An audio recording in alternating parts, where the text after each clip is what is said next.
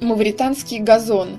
Если у вас появилось желание завести себе декоративную лужайку на даче, советуем обратить внимание на обустройство мавританского газона, популярность которого была высока еще тысячу лет назад.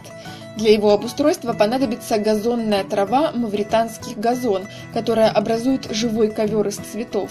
В особом уходе такая лужайка не нуждается, траву на ней скашивают один раз в сезон. В смесь мавританский газон может входить до 40 видов разных цветков, но когда зацветают вместе васильки, лен, хризантемы и дельфиниум, от такой красоты невозможно оторвать взгляд. Для такого газона необходимо подготовить почву, предварительно перекопав ее на достаточную глубину, убрать все камни и сорняки. Если необходимо, используют гербициды, также желательно внести азотные удобрения. Землю выравнивают и уплотняют, а затем дают ей выстояться до двух недель.